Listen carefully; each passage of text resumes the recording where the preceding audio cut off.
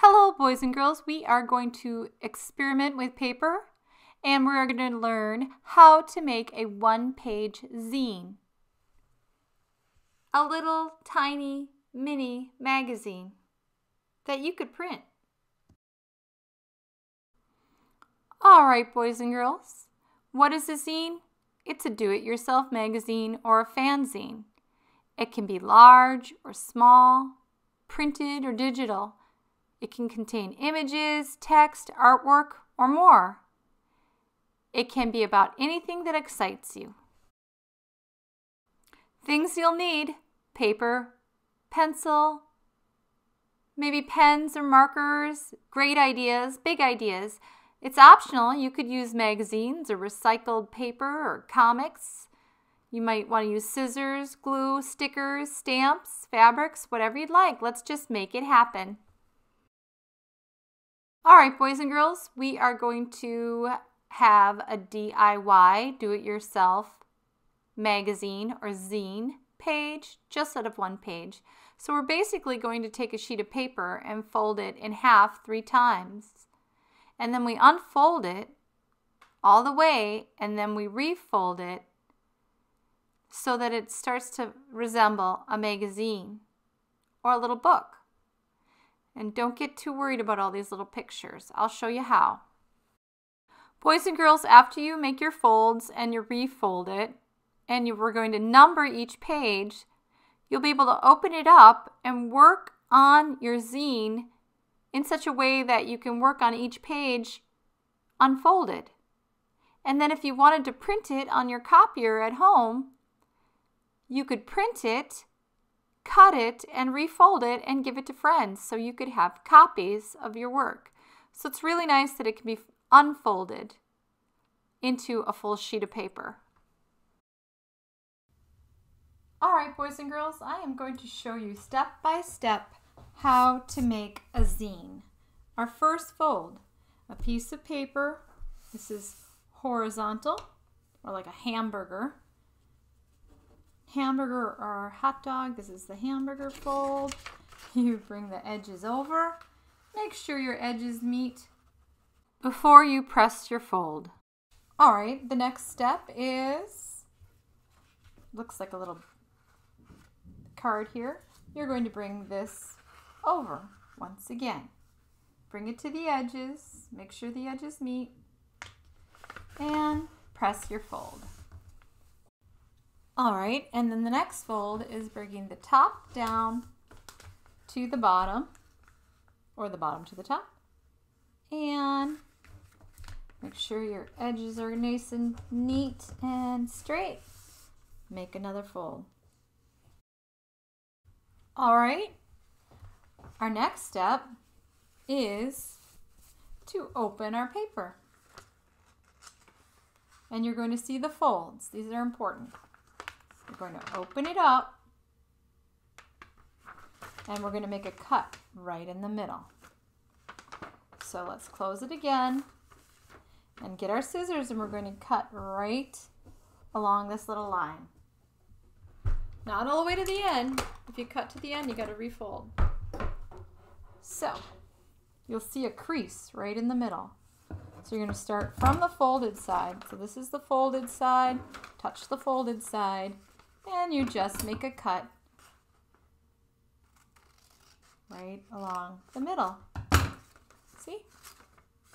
Still holding together. That was the next step. All right, here we go. Next step. Open it up.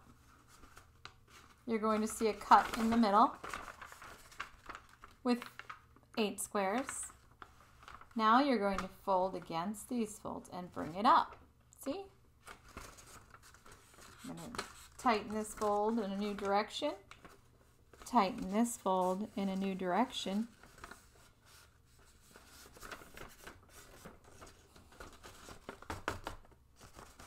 These are going to be pages in our little book, in our zine, like a magazine.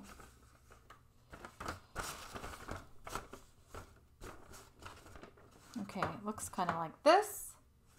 So this is going to be a cover. And it kind of goes in and out. Oh, there we go. Kind of starts to come together like a little book.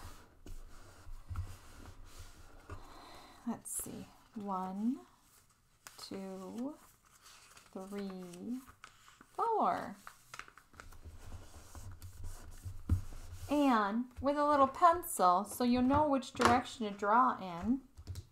One, two, three, four. Make sure the book is opening up in this direction like you would read a book. And I would say, in a really light little pencil, you can write front because you'll end up erasing that. See, you can hardly see that I wrote front. And I open it.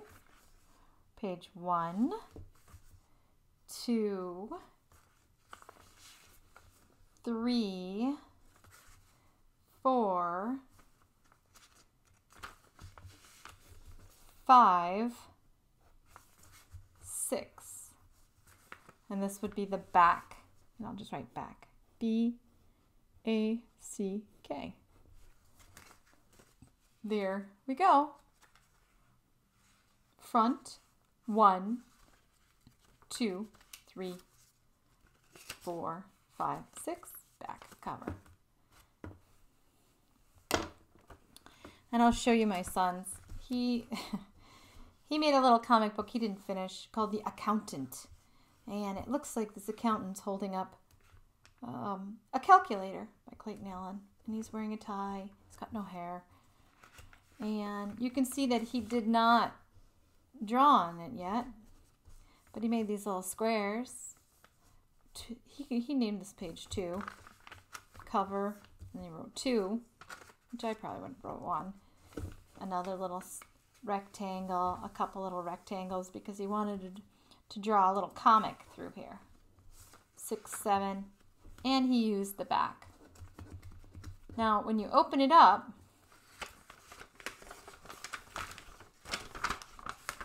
you're going to see that it opens up into the full sheet. It's got this little split. And then you'll find where you draw your cover page. It'll say front. Remember we wrote front and you can erase that. That's how you'll draw the cover page. And then the first, second or third. And then you're going to turn your paper this way when you're drawing this end of the book. And the back of the book is the opposite side of the front. So you can see how this sort of folds like so. There's like a cube in the center. And it kind of collapses. It kind of collapses on itself into a little booklet. And I'm going to work on mine. Well, boys and girls, once you've learned how to fold your own little zine, you can really choose any subject matter that interests you. Students and artists make them about all sorts of things. You can see these elephants and friends. One's called favorite dresses. So simple. Maybe a little bit about your family. Um, this little student is making a little zine about landfills. Just eat your mushrooms. this is a really fantastic drawing by an artist. Potatoes and hats.